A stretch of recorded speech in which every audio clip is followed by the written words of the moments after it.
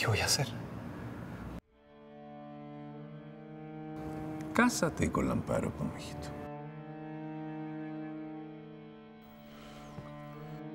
Se entraba a la iglesia del bosque por un acceso peatonal que era el lugar de encuentro de la gente antes de la misa. Pasando el pasillo rojo se llegaba a una escalera a la que solo podían acceder los elegidos del Padre.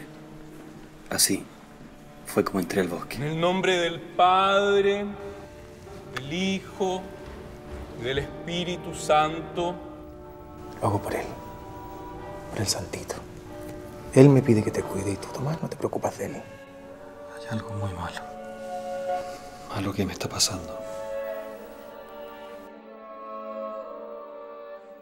Tenemos que hacer algo. ¿Quién me va a creer? Deje de protegerlo, padre. ¿Hasta cuándo? ¡Tú deja de calumniarlo!